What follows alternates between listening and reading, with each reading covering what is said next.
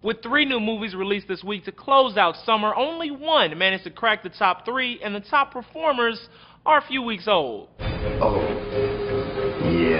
Marvel's second string superheroes star in Guardians of the Galaxy, which was number one at the box office, bringing in an estimated 17 million and boasting a 92% approval rating on Rotten Tomatoes. Which would be great if it didn't come out three weeks ago. But another solid weekend for Chris Pratt and company makes Guardians of the Galaxy the number one movie this summer.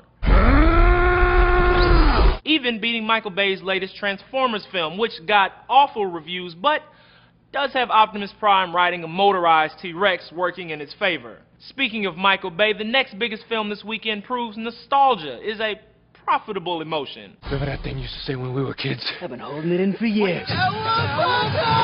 Teenage Mutant Ninja Turtles is number two at the box office, bringing in an estimated $16.8 million, all while carrying a dismal 20% approval rating. But what 90s kid doesn't love TMNT? Coming in last on the list is the only new movie that managed to make a decent debut. Am I dying? Is that what this is? If I Stay is number three at the box office, falling just shy of second place with 16.3 million and a 41% approval rating. So, it's not that bad?